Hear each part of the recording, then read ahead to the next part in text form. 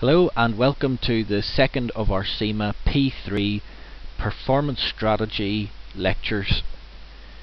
This lecture regards risk management. Okay, so the first thing that we're going to have to do to manage risk is to have a strategy. How is this strategy going to be determined? Well, first thing we've got to look at is the risk appetite within the firm. This will be determined by the attitude to risk of the various people within the firm. There may be pressure on those people to make sales which increases the risk taking attitude. The nature of the business may determine the amount of risk taken. The background of the board will also determine whether they're risk takers or not and whether that flows throughout the firm. And the pace of the industry. It may be that if you're in a fast moving industry you simply have to take risks to keep up. And the reputation of the firm, if it has a reputation for risk taking, it'll attract risk takers. Okay, the risk appetite also depends on the capacity for risk, and this is simply how much risk can the firm bear. You can't take risks that the firm simply can't cover. Okay, the elements of a risk strategy. Well, the first thing you've got to have is an organized statement, an organization statement on their attitude to risk. You then got to assess the organization's risk appetite. You then got to know what the objectives of your strategy are. You got to determine is there a risk culture throughout the firm. You've got to ensure that there is management responsibility for the risks. You've got to have systems in place to assess and control the risks. And you've got to have performance criteria on which to assess whether your strategy is performing or not. Okay, the CIMA risk management cycle is on page 15 of your notes. And I'm going to run through the different aspects of it. The first thing you want to do is identify your risk.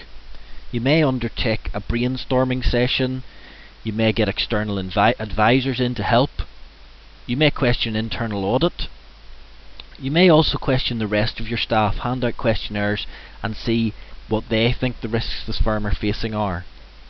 You may undertake a pest analysis, political, economic, social and technological. Or you may undertake a SWOT analysis, strengths and weaknesses, opportunities and threats. So once you've identified your risks, you're then going to measure your risks.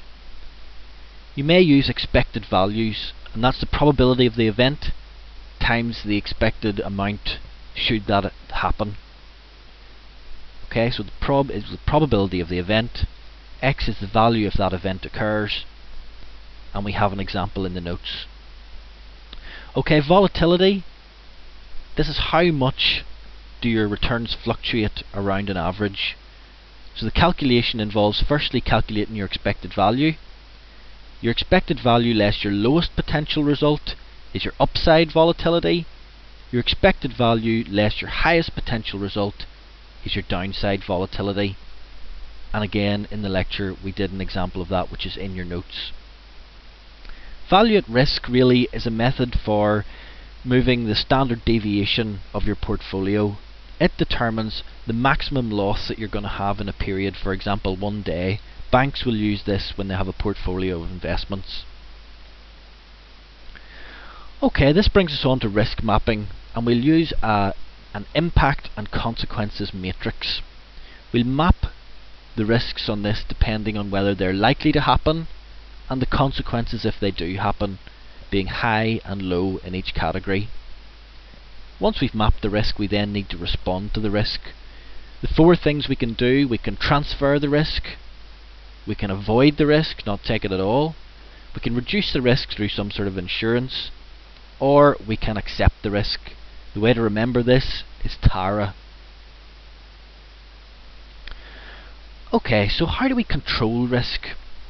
Well, we may choose to diversify if you diversify into an uncorrelated business, it means that if your core business activities take a hit, because the other business is uncorrelated, it shouldn't go down at the same time. The way to do this may be to integrate. Backwards integration will be down backwards through your supply chain into the raw materials. Forward integration may be through distri distribution channels and moving your goods yourself. Or horizontal integration may be into complementary goods or potentially taking over a competitor. Does integration work well? For excellence, you're supposed to stick to the knitting, i.e., stick to what you're good at. So, diversifying into uncorrelated businesses, you may find that you're simply not able to take it on. If you move into a related industry, it's more than likely that that's going to be correlated, so it defeats the purpose of diversification. And under a lot of the theories we have, investors are already diversified. They hold various stocks which should give them a diversification that you don't need to provide to them. So, any other ways to reduce risk? Well, you can have strong internal controls and that should reduce the risks.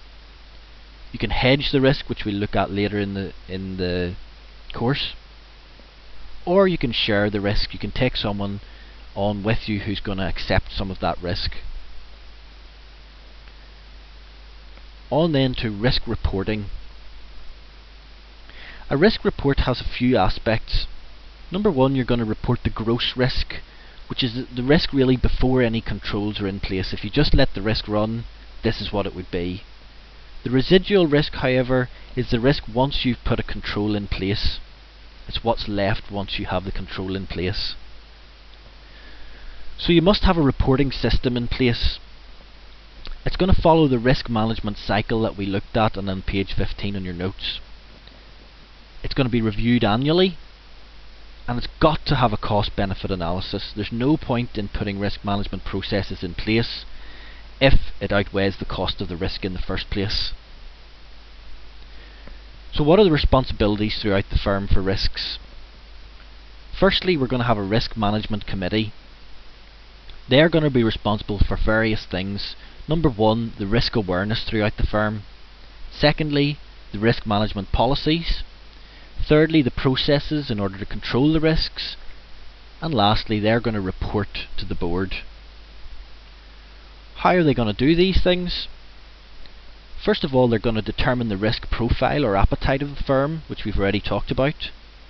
They're going to review and monitor the policies. They're going to communicate throughout the organisation. Remember, through enterprise risk management, you've got to communicate the risks so that everyone's aware of them. They're going to seek specialist advice if there's risks that they maybe don't understand or don't have the expertise to look at. And they're going to undertake training and implementation programs to make sure that everyone is aware of what they're supposed to be doing.